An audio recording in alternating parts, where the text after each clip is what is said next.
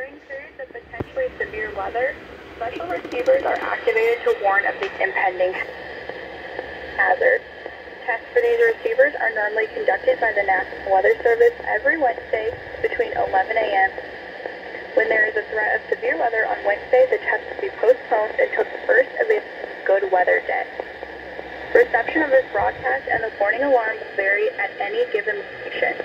This variability, no, normally more noticeable at greater distances from the transmitter, will occur even though you are using a good quality receiver in perfect working condition. The tone alert will be activated for several for selected watches and warnings affecting the following counties. In Indiana, Porter, LaPorte, St. Joseph, Elkhart, LaGrange, Steuben, Starke, Marshall, Kosciusko, Noble, DeKalb, Whitley, Allen, Miami, Wabash, Huntington, Wells, Adams, Grant, Blackford, Pulaski, and Jay. In Ohio, Williams, Fulton, Defiance, Henry, Paulding, and Van Wert. And in Michigan, Berrien, Cass, St. Joseph, Grant, and Hillsdale.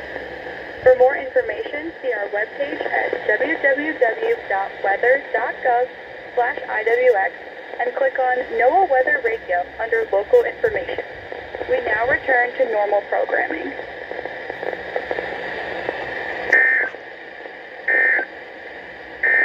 And the near